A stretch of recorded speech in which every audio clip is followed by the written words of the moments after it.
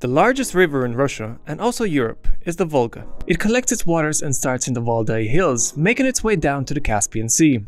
About halfway down its course, it makes an odd loop-like shape, as though it was unsure about what direction to take. This is known as the Samara Loop. There also lies the city of Samara, a scientific and a cultural hub. It is Russia's eighth largest city with a population of 1.17 million residents. It is situated 587 kilometers southeast of Moscow, and the country of Kazakhstan is only another 160 kilometers south. Easily the biggest claim to fame of this city is that it produced the rockets that sent the first humans into space. On the 12th of April 1961, the first ever cosmonaut, Yuri Gagarin, was sent to space on the Vostok by the R-7 rocket that had been manufactured in Samara, meaning that Samara played a crucial part in the process that turned Russia into a spacefaring nation and ultimately advanced humanity significantly. So when and how was this city created? Why did it become the main source of rocket ships in the Soviet Union? And what achievements exactly did the USSR accomplish as a result? One of the earliest known records of Samara is dated back to 1367 on this Venetian map, confirming the existence of a settlement there for well over 654 years, and in all likelihood, the region was inhabited since the Middle Ages, serving as an important outpost connecting Central Asia with Russia. Officially, today's city of Samara started with a fortress built on the confluence of the Volga and Samara River. The order to build it came from Tsar Fyodor Ivanovich in 1586. This fortress was meant to be a frontier protecting the easternmost boundaries of Russia from various nomads and Mongols. But it wouldn't be doing this for very long, as the Russian Empire soon began expanding at a dramatic pace by securing Kazan and Astrakhan, and further expanding eastwards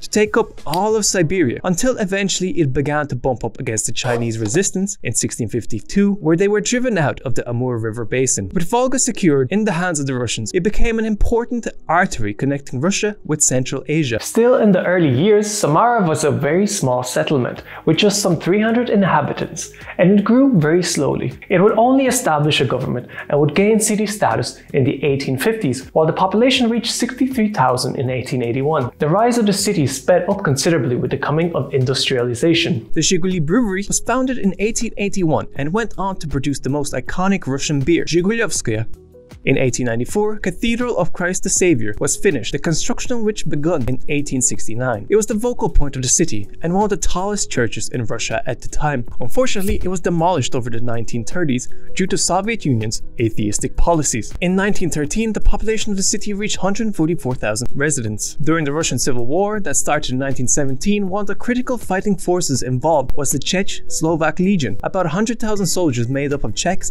and Slovaks. In 1918, the Czechoslovak Legion was in open warfare with the Bolsheviks and had seized multiple cities along the Trans-Siberian Railroad. Their main priority, however, had been to continue to secure passage to Vladivostok to ultimately join the fight on the Western Front. Anti-Bolshevik elements in Russia, on the other hand, hoped they would put their considerable strength towards actively fighting the Bolsheviks. So on June 8, at the urging of local members of the Socialist Revolutionary Party, the Czechs overthrew the Bolshevik authorities in Samara and the Revolutionary War officially began in the city. A counter-offensive started by the Red Army saw many cities recaptured and Samara was under the control of the Reds by the 8th of October 1918, and the war ultimately ended in 1920 with the defeat of the White Army. In 1935, Samara was renamed to Kuibyshev in honor of Bolshevik leader Valerian Kuibyshev, who was a Russian revolutionary, Red Army officer, and a prominent Soviet politician. In 1941, Kuibyshev Square hosted a military parade in honor of the 24th anniversary of the Bolshevik Revolution, because the city was considered a wartime capital for the Bolsheviks. The square itself is the biggest in Russia at 174,000 square meters. Then the city saw the construction of the famous Stalin Bunker, an air raid shelter. It was the alternative Supreme High Command headquarters of the Soviet armed forces, intended for Joseph Stalin's use. Constructed between February and October 1942, Stalin's bunker was designed to survive an explosion equivalent to 2 tons of TNT. Defensive measures include 23 meters of earth cover, 4 meters of concrete, and a layer of sand for protection against enemy air raids. However, Moscow was never taken, so Stalin apparently never even used or stepped in this shelter.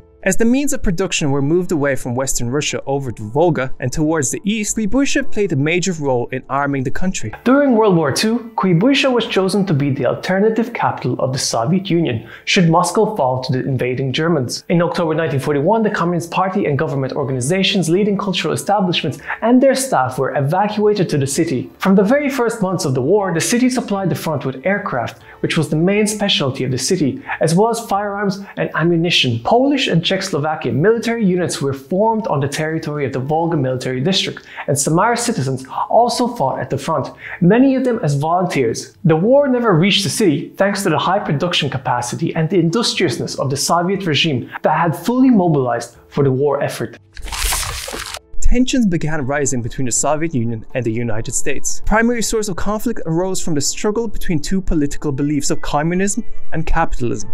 The conflict became known as the Cold War. Similar to Yekaterinburg, defense industry developed rapidly in Kuibyshev thanks due to the Cold War and the competitiveness that it came with, leading to Kuibyshev becoming a closed city, protecting secret Soviet weapons program from falling into the hands of Western powers such as the US. Boats passing along the river Volga were only allowed through at night, so that the city could not be spotted by the passing ships. Thanks to the aeronautics industry brought to the city during the years of World War II, Kuibyshev Enterprises played a leading role in the development of Soviet domestic aviation and the implementation of the Soviet space program, mainly through the development and production of the R-7 rocket, which was originally intended to serve as an intercontinental ballistic missile. When Soviet nuclear warheads became lighter, the R-7 turned out to be impractical as a ballistic missile, and there were no other heavy payloads with military application. However, long-term development made the rockets useful in the Soviet and Russian space programs. Their purpose shifted from nuclear warheads to satellites, probes, manned and unmanned spacecraft, and other non-threatening payloads. Almost every family living in the city was in some way connected to the production of these rockets. The rocket production in Kuibyshev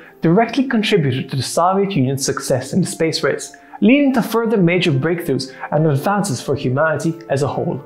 Here is a quick breakdown of the Soviet Union's major achievements during the space race. 4th of October 1957, the USSR successfully launches Sputnik 1, the first Earth-orbiting satellite in history. 3rd of November 1957, Sputnik 2 carried a dog named Laika into space. USSR becomes the first nation to successfully send a living organism into orbit. 2nd of January 1959, Luna 1, known as the first cosmic rocket, becomes the first human man-made object to leave the orbit of the Earth and orbit the Sun. Ostern. 12th of September 1959, Luna 2 accomplishes its mission, creating the first spacecraft to reach the surface of the Moon. 4th of October 1959, Luna 3 succeeds in the mission of sending an object into orbit around the Moon, photograph its far side. 19th of August 1960, aboard the Soviet Union Sputnik 5, Belka and Strelka, and a range of plants are returned alive from space. 12th of April 1961, the Soviet Union achieve a clear triumph, as aboard the Vostok 1, Yuri Gagarin makes a single orbit around the Earth and becomes the first man to reach space.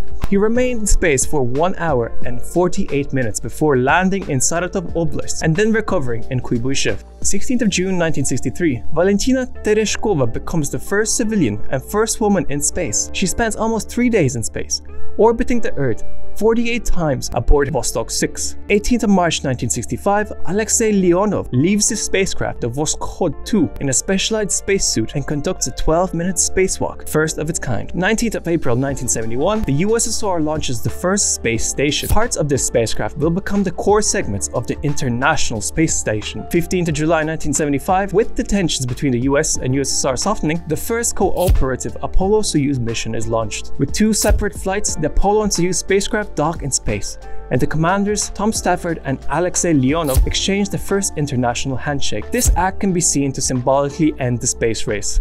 This is the Soyuz rocket monument in Samara. It is dedicated to the legacy of the rockets that were produced here and the achievements that followed. Opening ceremony took place on October 1, 2001 and was held in conjunction with a celebration of the 50th anniversary of the first manned spaceflight performed by Yuri Gagarin. The times of Russia as a great spacefaring nation would soon come to a temporary close in 1991 with the fall of the Soviet Union. Samara also got its historic name back. What followed, of course, is a well-known story to the subscribers of this channel, and anyone living in Russia during these times. The Russian economy totally collapsed and the value of the ruble plummeted. Moving over to the free market economy was not easy, and nowhere in Russia was spared the hardship. Businesses that had always relied on support of the government were suddenly abandoned, and they had to scramble to become profitable to catch up with their international counterparts. This meant massive layoffs and bankruptcies, and the businesses that survived only did so making major production changes. It appears that Samara, as a city, never fully recovered from the mass exodus that it experienced during those times. By viewing macrotrends.net, we can see that Samara's population gradually declined after 1989 and has never actually recovered or come back to its peak of 1987. However, the space industry is very much ongoing in Samara today. In April 2020, Dmitry Baranov, general director of Samara Space Center, said the company has 52 Soyuz rockets already built, 40 in storage, and 12 at spaceports awaiting missions. Russia currently uses Soyuz 2 rockets to launch crews and cargo to the International Space Station and to put up government satellites. European launch provider Arianespace also uses Russian-built Soyuz 2 for satellite launches. So Samara has not and will not stop propelling humans into space anytime soon. Now guess the location of this footage for the algorithm and I will see you soon. Take care. GeoPerspective out.